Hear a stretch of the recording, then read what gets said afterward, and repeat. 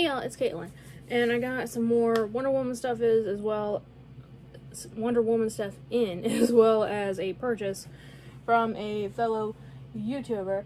But let's go ahead and do the Wonder Woman stuff first. So I got this uh, pop pin that they announced. All this, uh, I say all this, it's two items, uh, was part of the uh, Funko Fair reveal earlier this year. And I did not get the chase. As you can see, there is a chase variant of Wonder Woman where she's all gold and sparkly. So I am on the hunt for that one. I am going to be looking around, seeing it if I can find it anywhere for a good price. I honestly don't know how steep the pop chases go for, because uh, there hasn't been any that I was interested in until now. But yeah, we are going to take this out of box, because I do have, I only have two others. I have the other Wonder Woman, and I have the Robin. Uh, and both of them are displayed out of box because they're pretty. So, let's go ahead and get it out. If you guys haven't seen these pop pins before, they come in this little faux felt thing. It's just plastic that's flocked. that's all it is. It's, they make it look very nice and whatnot, but yeah, it's, it's just a piece of plastic. And then these pins, super large, heavy duty. They have three uh, pins if you want wanted to use it as a pin, but it also has a little kickstand so that you can uh, display it like a photo, and there is the Freddy Funko crown there. But yeah, you can see this is the Walmart exclusive uh, pop that they use for the image here because she's holding the mother box. So this is the Justice League one. I think that, yeah, it had Justice League on the front of it. Personally, I would have liked to use just one from the Wonder Woman movie, but hey, who cares, I guess. So there is Gal Gadot there. And I do, I actually need another mother box uh, pop uh, of the, yeah, the actual pop of this one because the one I have, the box was destroyed, so it's out of box. So, yeah, need to start looking for that. But this is pretty cool. So, most of it, other than her facial features, her facial features and her parts of her hair are all like sketched in but her body is flat. Like there's all these little curves and stuff. There aren't actual like ledges in there. So that's pretty cool. It gives a pretty nice effect. So I really like this. I really love the pins. I really do. Do. It's just not something I want to heavily collect unless it's something that I really, really love. Uh, the only reason I have the Robin is because it came in a mystery box. we have that, and then the rest of it is actual uh, pops. Real quick though, if they're if you want to know, they do have Superman, Cyborg, and the Flash as well. But I don't know. I got these from Entertainment Earth. And I don't know if Entertainment Earth is starting to do the same thing as GameStop because I only ordered one and I checked. There was only one ordered. However, this pop actually comes with a pocket pop version as well. So I'm thinking instead of getting the Pocket Pop version, I just got the two pops. If somehow it's screwed up. I don't know, but it's weird. But So I'm putting this back here in this little pile that I've been getting of pops that I don't necessarily need. So, and this stuff I got recently, there's four pops back here already. But yeah, so this is Wonder Woman Challenge of the Gods. This is an amazing, amazing storyline uh, for Wonder Woman. Freaking awesome. So they did put those two. I want to say, I don't have them near me right now to look, but I want to say when it came to the Golden Age and the Ultra Mod, they only had those two on the front. So I guess they're adding to the box as they go along, maybe? It's kind of weird. But Wonder Woman 80th year anniversary. So let's go ahead and get this out. So Challenge of the Gods was really, really cool because it kind of concluded a story arc. Uh, right before this story arc, there was a, well, I guess it's still technically Challenge of the Gods. It's just broken up into a few different stories. But the story right before this one was actually Cheetah's origin. Uh, but this one was really interesting because Diana is going back home to the Themyscira after being in man's world for quite some time. And she's summoned to Olympus. Why did I get the stand out? But she was summoned to Olympus um, because Zeus uh, has taken a liking to her. And he offers her what he believes is a generous reward for her, you know, deeds, uh, basically preaching about the gods in man's world, is uh, himself. and Diana's still a virgin at this point, and she does not want to give her virginity to Zeus. Uh, Hippolyta comes to her aid to defend her because Zeus takes the rejection very, very badly. Um, so that happens, and then Hera also comes to her defense, which is Zeus's wife. Um, but basically, as punishment for rejecting him, she is forced to going into uh, the cavern underneath her home of the Themyscira or Paradise Island. And she dons this armor uh, to protect her because this is some of the most powerful armor for uh, the Amazons because that's where a lot of the uh, creatures of myth are locked away, as well as uh, Hercules. And Hercules in this story arc was the one who um, imprisoned the Amazons in the first place before Diana was ever born. So, and his punishment is basically to hold up the Themyscira. So, her mother comes in after her.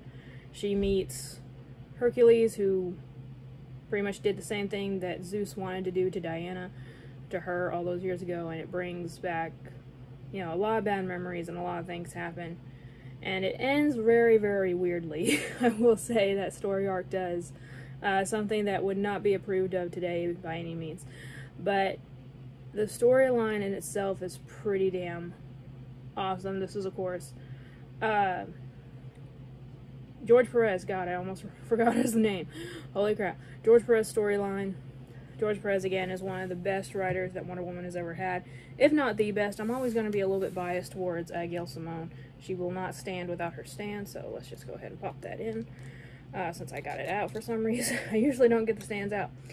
But yeah, I'm always going to be biased towards Gail but George Perez was just, or still is, an amazing comic writer.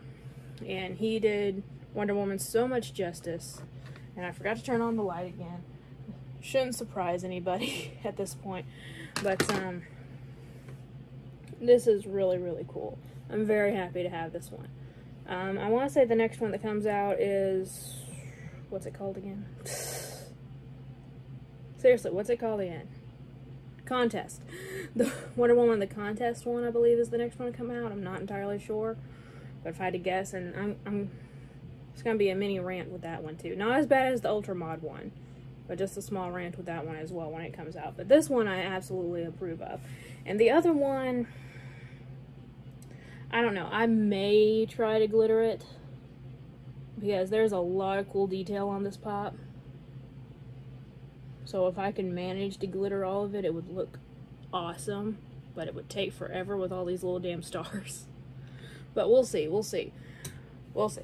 But yeah, I don't know what else to do with the other one, honestly. Now, this one, however, this is a purchase. It is not Wonder Woman related.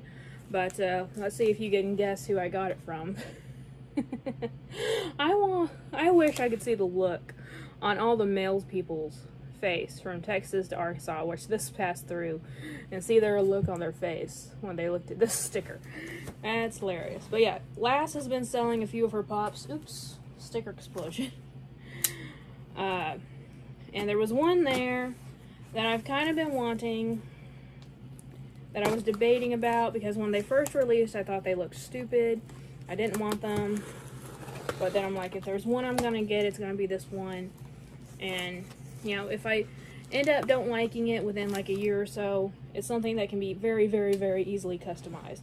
So, let's get these up before I lose them. Okay. I will put a link to Lass's channel in the description box below, guys.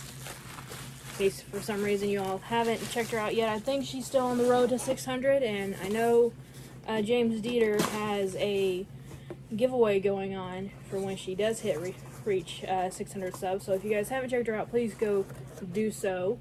And here is My Little Pony Cotton Candy. This is the scented GameStop exclusive one.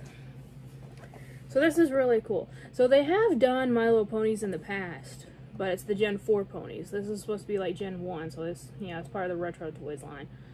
Um, which I was never a big fan of the OG ponies um, at all. But, you know, when, I don't know what it was, and fact, I've seen like documentaries and stuff on it. Even the people behind the show don't really know what it was, but My Little Pony Friendship is Magic just sort of spar sparked this whole cult following. Following like My Little Pony had a large fan base to begin with, but when that show started, everything blew up. It was so weird. There were grown men watching the show with their daughters or whatever, their kids, and being like, you know what, the show ain't too bad. Suddenly there's bronies everywhere. it was so weird. And the show was awesome. I love My Little Pony Friendship is Magic. Um, so I do have a few of those pops. Um, but yeah, something about it just sparked this whole thing. But anyway, I really wanted this pop just to have one. And if I'm going to get one, it's going to be the scented one. So